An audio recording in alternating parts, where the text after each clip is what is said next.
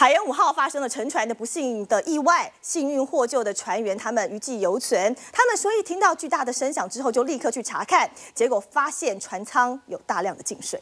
那你们那时候是先听到撞击声才知道哥，才知道那个触礁事情吗？对，没有。有发出很大的声音吗？对，沉船一个很大的声响。就一个很大的声响。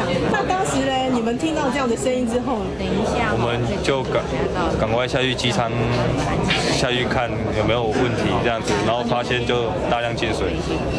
哎，差不多多久船船就沉下去？一两个小时吧。船长组是他。我们先通知驾驶台啊，然后他通知驾驶台，驾驶台，哎，然后船长有广播，就是等待救援啊，就叫大家等待救援你们是什么情况下开始跳跳海？我们没有跳海，我们都没有人跳海吗？对，你们就是在船上，然后被浪等，然后被浪打下去。你们在船上，然后被浪打下去。对，哎。哦，那那是海豚怎么救你的？